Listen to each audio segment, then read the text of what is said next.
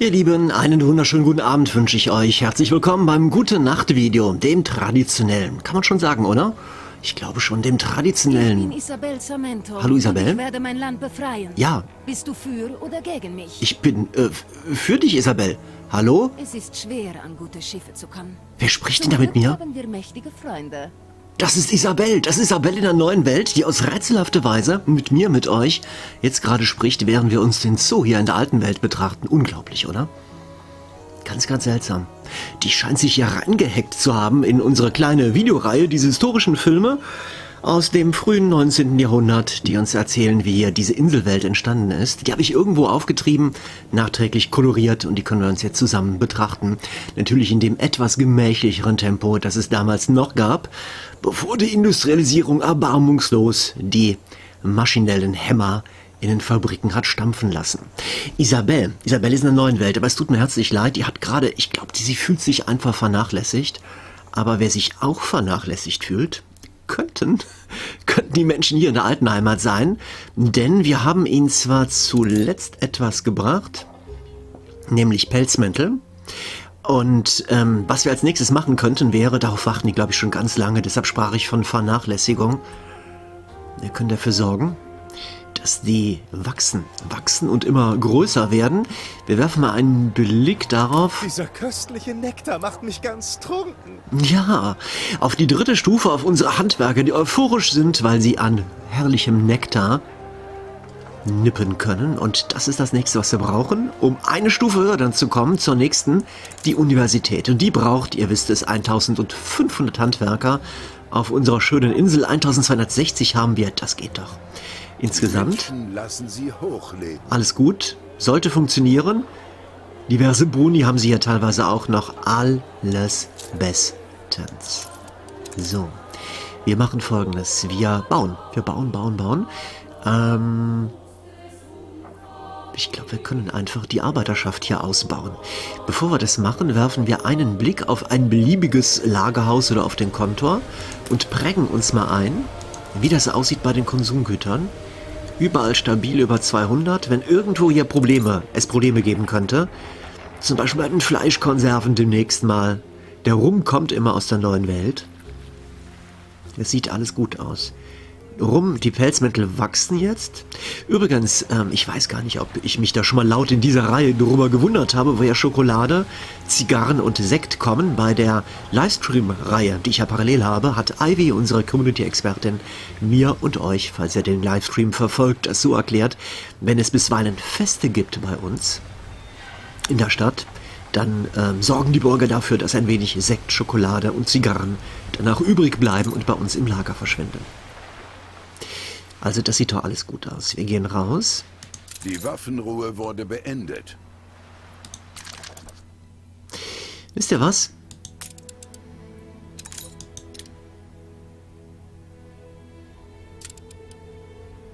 Wir versuchen es noch ein wenig weiter einzuschleimen. Oh, das hat gar nicht geklappt.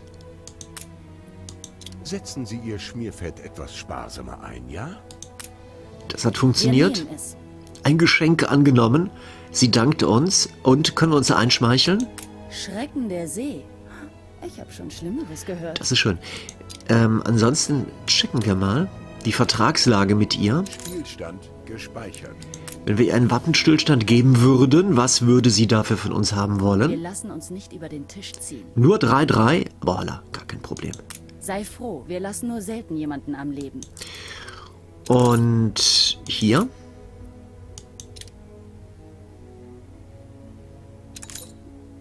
Haben wir einen Waffenstillstand mit ihm?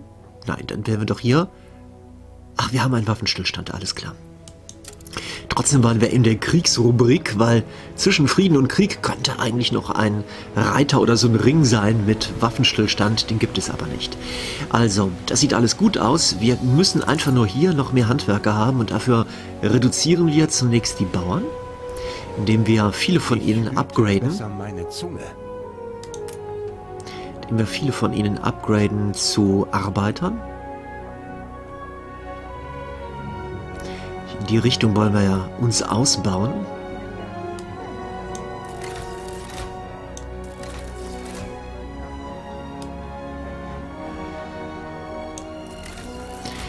Das ist das Erste. Und das Zweite, was wir machen, oh, wir müssen uns auch um den Stahl kümmern. Schaut mal dort oben. Die Stahlträger haben massiv abgenommen. Haben wir eigentlich noch Stahlproduktion? Also wir haben natürlich Stahlproduktion, aber haben wir Stahlproduktion, die aktiv ist? Alles anhalten. Nein! So, und jetzt haben wir gleich auch weniger Industriearbeiter, weil die brauchen richtig viele. Und Stahl wiederum wird hier produziert. In unseren Hochöfen, die Kanonengießerei läuft. Ich wette, wir haben noch haufenweise Kanonen und können auch mal sagen, ich glaube, die sind Baumaterial, oder? Ja, 135, das reicht erstmal. Ich gehe mal mit der Kanonengießerei, die stoppe ich mal. Können nämlich- können nämlich den Stahl stattdessen wie die Stahlträger benutzen. Nähmaschinen. Voller Warenausgang, Warenlager voll. Ich friere die Nähmaschinenfabrik mal ein. Gedankenpause? Ah, jetzt sind schon zwei. Ja, ich lasse hier die mal Ich weiterlaufen. so. Die eine haben wir ausgestellt, die lassen wir weiterlaufen. Die Schneidereien funktionieren, die müssen einen kleinen Bestand auch mal aufbauen. aufbauen. Das ist soweit so gut. Wir werfen einen Blick. Wir kontrollieren mal, ob die Stahlträgerproduktion wirklich gut läuft. Dadurch, dass wir auch mal die Rohstoffe kontrollieren, zum Beispiel hier im Hochofen. Kohle ist da, Eisen ist ebenfalls da. Auch auf der gesamten Insel, hier seht ihr, es sind 82 Kohle. Und hier auf der gesamten Insel 49 Eisen. Das könnte eigentlich, das ist nicht extrem viel, aber es könnte reichen. Wir haben hier das Eisenvorkommen, das wir noch nicht erschlossen haben. Das könnten wir uns auch mal überlegen. Denn wir müssen ja sicher demnächst auch massive aufbauen, ob wir das nicht machen. Was meint ihr? Ja, oder? Haben wir mittlerweile die Möglichkeit, Kohle, bei Kohle sieht das, glaube ich, ähnlich aus.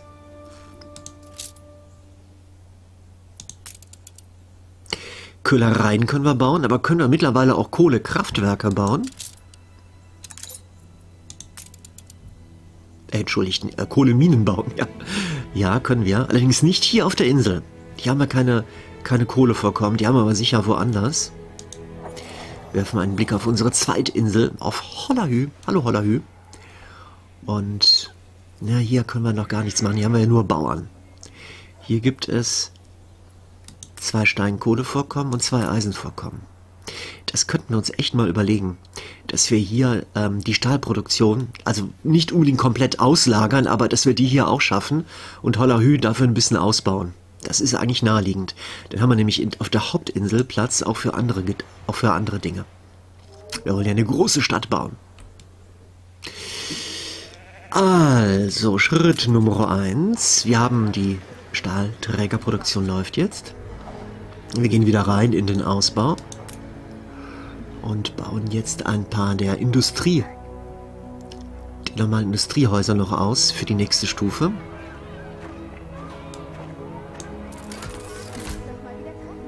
Machen wir hier in der Zentrale. Hier sind noch zwei Bauernhäuser, die aufgelevelt werden können.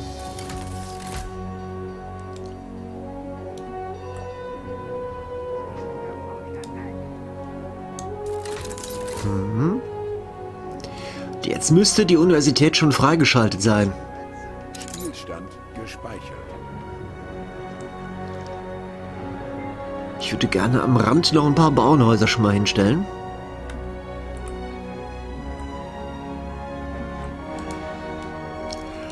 Schauen, wie die Versorgung der Menschen hier ist. Zum Beispiel die Versorgung. Ja, das sieht doch alles gut aus. Das ist der Markt. Das Wirtshaus entschuldigt, da kommt man bis hierhin problemlos hin. Marktplatzversorgung, alles dunkelgrün. Ja, da kann man doch einiges machen.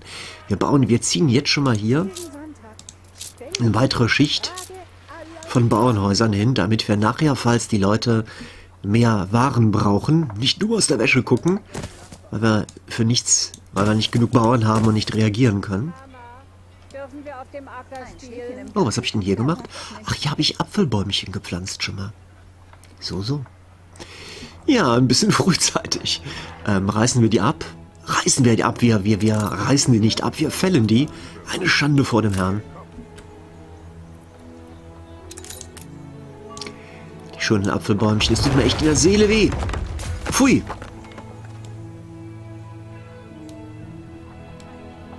Und war auch so überflüssig, denn wir können ja auch einfach eine Doppelreihe hier machen, oder?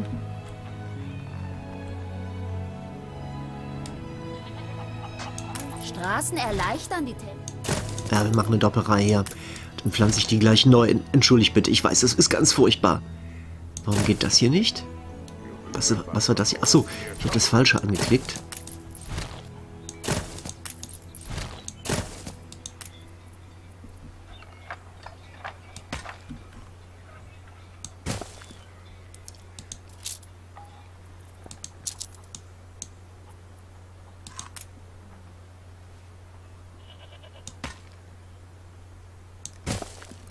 Hier reißen wir noch ein bisschen was ab.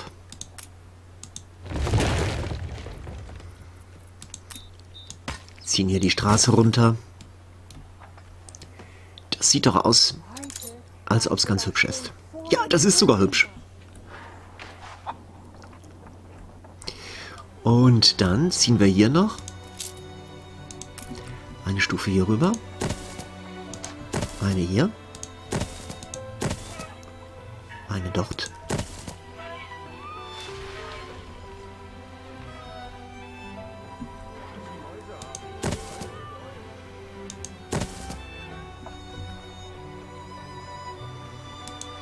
Einmal hier Die Menschen lassen sie hoch. und einmal dort hinten.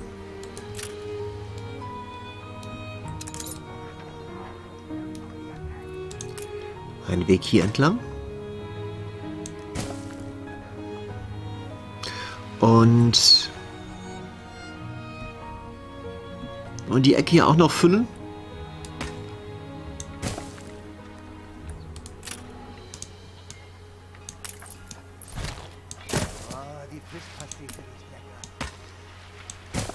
So. Einmal, zweimal. Die Bäumchen lassen wir hier stehen. Und das ist hier der Stadtrand. Der neue. Ich bin zuversichtlich, dass wir es jetzt haben. Da bin ich mal sehr gespannt. Oh, zauberhaft. Aufstandswahrscheinlichkeit sinkt und noch mehr sinkt sie. Und die Leute sind außerdem noch zufrieden. Wir sind eine Gelddruckmaschine, eine Atempause vor der Gewalt. Die freie, die freie Presse lobte uns für die Waffenstillstandsabkommen, die wir geschlossen haben. Glück und Licht in Hollahü, die Stadt ist voller Freude.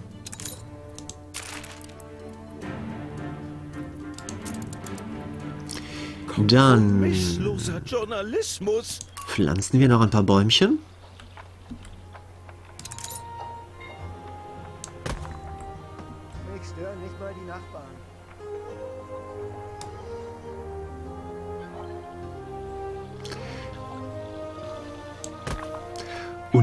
Neige sogar mit dem Gedanken, wir hatten doch eine Allee an einer Stelle gebaut, erinnert ihr euch? Wo war das denn? Ach, ich weiß wieder wo, auf der anderen Seite. Das sah so hübsch aus, schaut mal hier. Das sah so hübsch aus. Ich gehe mal in das Klonen-Menü rein, kopiere mir eins von diesen Bäumchen. Ich hoffe, ich habe das Richtige mir geholt. Gehe hier rüber. Jetzt machen wir hier eine Allee am Stadtrand. Aber das ist so eine zauberhafte Idee. Eine hier rauf. Ja, zauberhaft. Das ist so hübsch. Unbedingt.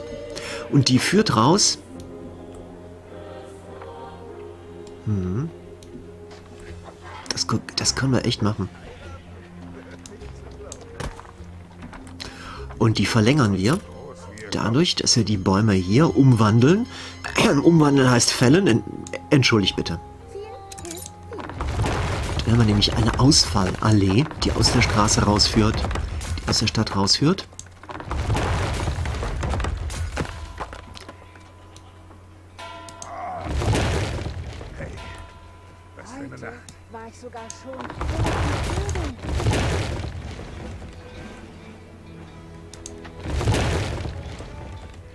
So machen wir das. Hier.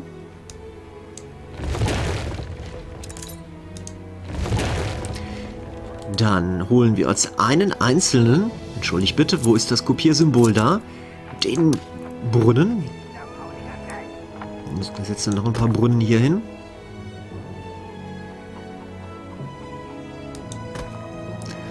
Und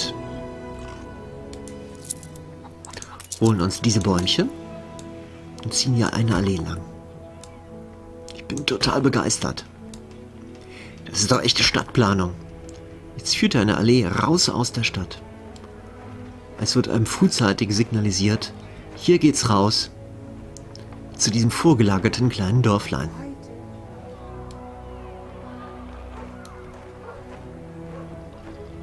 Sehr schön. Klasse. Hier hinten wiederum, lasst mich nicht lügen, hier ist die, genau, hier ist die Straße, die in die Stadt reinführt. Die Allee, ziehen, hier ziehen wir auch eine Allee hin. Das ist so eine gute Idee. Hier geht's lang.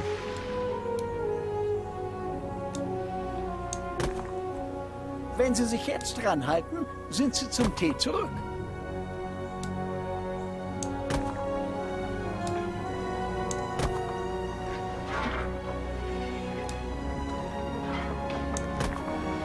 Sehr schön, klasse. Nicht doch verschwendet. Ich habe gerade keine Lust, mich von irgendwas ablenken zu lassen. Das sieht so hübsch aus, schaut mal. Ja, das haben wir gut hinbekommen. Sollen wir uns das mal aus der Nähe anschauen? Ja, ne?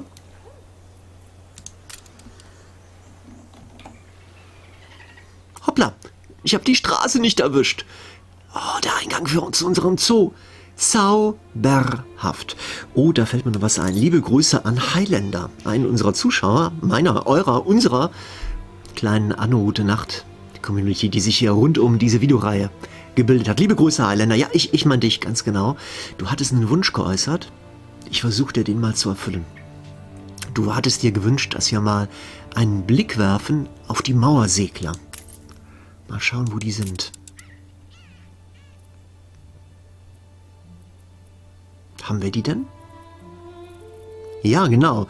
Mauersegler. Wo habe ich die denn untergebracht? Die müssten ja in einem der Vogelhäuser sein. Hier eventuell? Nein. Das ist eine Möwe. Papagei? Ja, hier sind sie. Extra für dich, mein Lieber.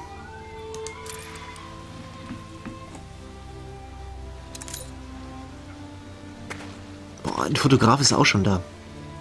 Das ist sicher einer von diesen Let's Playern, von denen man neulich hört, die immer mit Kameras rumlaufen und von Vögeln Aufnahme machen. Komme ich hier rüber? Ich spring mal rüber, ob ich dann besser hinkomme. Ja, ich muss den kleinen Satz machen. Oh, hier wird noch richtig gemalt, schaut mal. Der stellt sich vor eine Voliere und malt einen Mann mit langen blonden Haaren. Ich glaube, der sah aus wie Thomas Gottschalk. Wir gehen hier mal schauen. Oh, wie süß. Da sind die Mauersegler. Also süß weiß ich nicht, ob das das richtige Wort ist, aber... Weil putzig sehen sie ja nicht aus. Sie segeln. Sie segeln und schweben auf der Stelle, gleiten hin und her. Das sind deine Mauersegler, lieber Highlander. Wir hatten aber noch was vor, oder? Oh, wir werden gelobt. Die Attraktivität der Stadt steigt und steigt. Mittlerweile gab es übrigens ein Update, nachdem ich das hier aufzeichne. Viele schöne kleine Verbesserungen dadurch. Ähm, Prestige und Einfluss haben wir. Wir wechseln rüber und haben eine neue Bauoption. Die schauen wir uns jetzt mal an. Das sollte eigentlich sein. Hier, die Universität. 40 Stahlträger brauchen wir dafür. 20 haben wir nur. Da müssen wir noch ein klitzeklein bisschen warten. Vielleicht ja doch eine gute Gelegenheit, dass wir uns um die Stahlträgerproduktion auf einer anderen Insel kümmern. Oder? Hier vorne. In Hollahö. Dafür brauchen wir erst, müssen wir erstmal die Stadt allerdings ausbauen. Und um die Aus auszubauen, brauchen wir erstmal noch mehr Bauernhäuser. Sonst läuft hier gar nichts. Ich setze hier mal ein großes Pulk.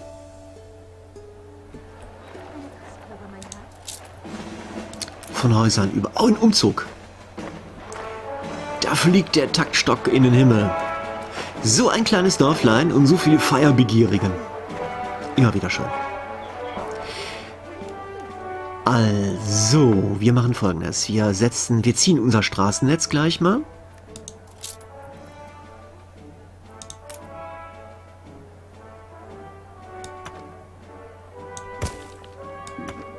Hier lang.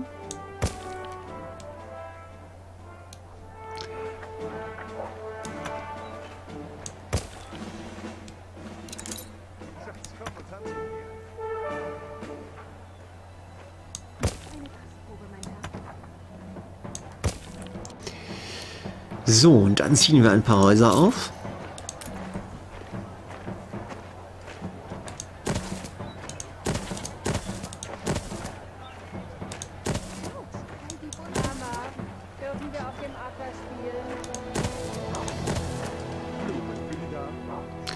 Auf die Seite rauf. Ein bisschen grün dazwischen, aber nicht zu viel. Wir wollen die Leute ja nicht verwöhnen. Ich hatte das hier immer gemacht, schaut mal. Ging das so längs ab. Könnten wir auch wieder machen. Spricht da was gegen? Nö, eigentlich nicht.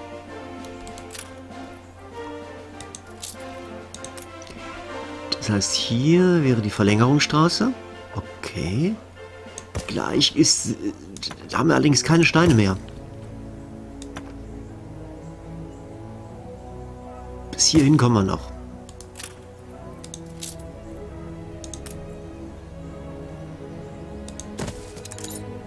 Oh, hoppla.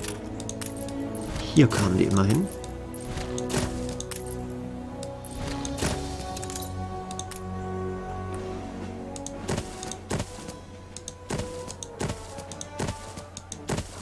Es geht auch gleich alle.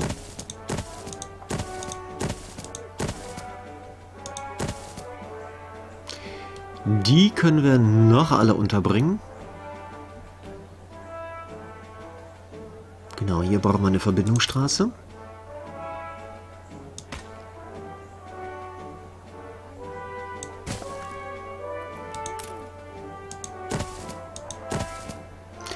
Also in diesen Minen arbeiten richtig viele Leute. Da müssen wir die Stadt auch richtig ausbauen.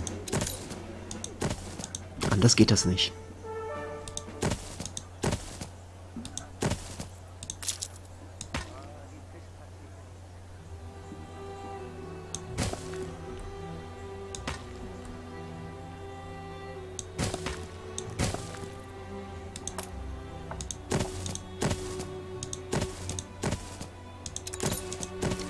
Haben wir gut hinbekommen. Und um die Bäume kümmern wir uns nachher. Sollen wir erstmal schauen, die haben hier selber kein Leben vor Ort. Genau. Das heißt, wir haben aber doch irgendwo sicher ein freies Transportschiffchen. Und zwar jede Menge. Auf die alte Dame ist Verlass. Ah, wir müssen wieder mal beginnen, Seife einzuladen. Was denn das hier? Bitte verwenden Sie angemessene Formulierungen? Nein, schaut mal, das bezieht sich auf den Pimpf. Die Meldung, ich habe die Stadt, ich habe das Schiff Pimpf genannt. Dafür, das ist doch jetzt ein Gag, oder? Ich bin ein erwachsener Mensch.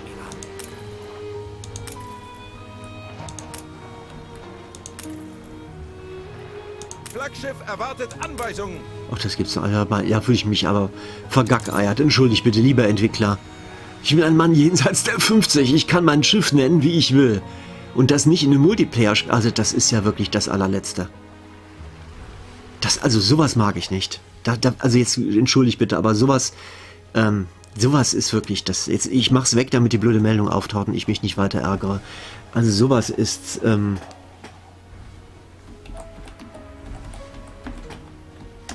Besser so? Ja, Knalltüten, also im Ernst, also sowas geht nicht. Ihr wisst, wo, wo der Ausdruck Pimp herkommt? Das ist ein, Aus, ein Ausdruck aus der Nazi-Zeit. So, da, es gab ja damals verschiedene Jugendorganisationen der NSDAP und die ganz, ganz kleinen, das waren die Pümpfe. Also sowas geht nicht. Das geht nicht. Das sowas kann man machen bei einem Multiplayer-Spiel, wo man aber nicht bei, wenn Leute ein Spiel für sich im Einzelspieler-Modus zocken, dann kann man den nicht, äh, die nicht von oben herab schulmeisterlich behandeln und denen pädagogische Hinweise geben. Also das, das geht gar nicht. Kann man nicht machen. Leinen los. Die Knalltüte.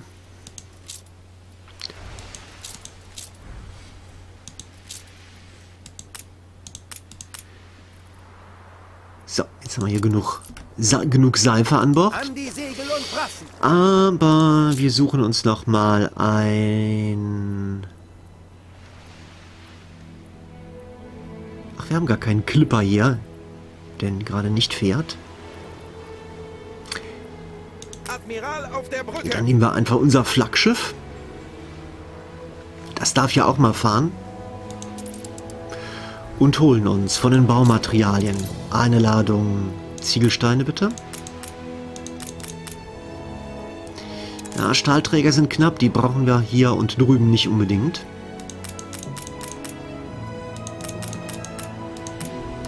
Das sollte reichen. Fahren damit einmal rüber. Hierhin. Oh, hier gibt es ein Problem. Fehlende Ausbaukosten. Könnten den Hafen auch nochmal ausbauen. Wofür? Was ist das für ein Symbol? Zu viele Transporter. Ja, sobald wir Steine haben, können wir den ausbauen. Und dann dafür sorgen. Das oder der Kontor? Der Kontor, das Kontor, der Kontor. Ich weiß es gar nicht. Jedenfalls das der Teil ausbauen. Ein neuer Auftrag? und dafür sorgen, dass es sich hier nicht mehr staut. Ja, darum kümmern wir uns aber jetzt nicht mehr. Das war diese Folge. Und äh, liebe Grüße an euch. Falls ihr was sehen wollt, apropos Thema Pimpf, wo wir gerade waren. Ähm, ich habe jetzt eine neue Reihe bei mir auf dem Kanal zu Through the Darkest of Times. Ein Spiel, das in einem halben Jahr rauskommt und wo es um die Nazi-Zeit geht. Ich habe den Publisher besucht und äh, habe das große Vergnügen, als, als erster, als erster YouTuber-Let's Player überhaupt, sogar international überhaupt, dieses Spiel schon mal zeigen zu können. In drei Videos, die ich für euch aufgezeichnet habe, die findet ihr auf meiner Playlist. Die laufen auf Pfingsten. Die drei Videos an jedem Pfingsttag, Samstag, Sonntag, Montag, abends jeweils eins. Zu äh, meistens um 20 Uhr und auch dann halt in dieser, in dieser Videoreihe. Und das ist echt ein total schönes Spiel, auch keins, wo es auf Tempo ankommt. Und ähm, jedem, der sich so halbwegs auch nur für Geschichte interessiert, für moralisch schwierige Entscheidungen und für ein intelligentes Spiel, dem empfehle ich da mal reinzuschauen. Liebe Grüße, gute Nacht, träumt süß.